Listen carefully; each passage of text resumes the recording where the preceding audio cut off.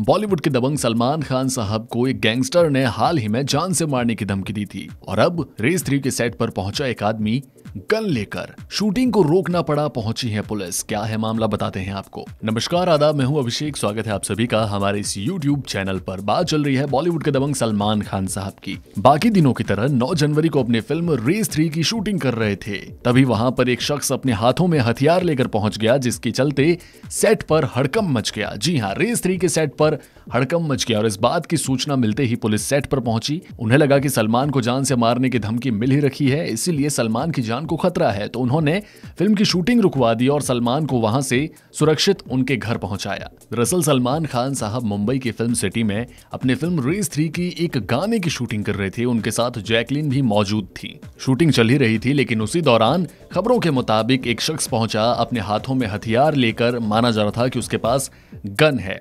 और ये बात जैसे ही टीम को पता चली, उन्होंने तुरंत पुलिस को फ़ोन किया और रेस थ्री के सेट पर पुलिस को पहुँचना पड़ा। सलमान खान और प्रोड्यूसर रमेश तौरानी को कहा कि शूट कैंसिल करना होगा। जितनी जल्दी हो सके सलमान को घर सुरक्षित छोड़ा जाए। और इसी के चलते सलमान छह पुलिस वालों सहित एक अन्य गाड़ी में बैठे और सुरक्षित घर पहुँचाए गए। बहरहाल, आपको एक बार फिर से बता दें कि हाल ही में जोधपुर के गैंगस्टर ने सलमान को जान से मारने की धमकी दे दी थी।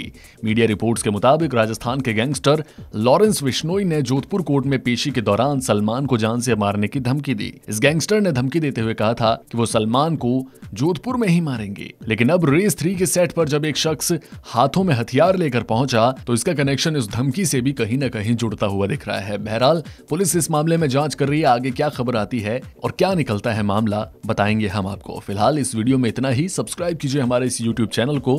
वीडियो को कीजिए like and and share. Till then, take care.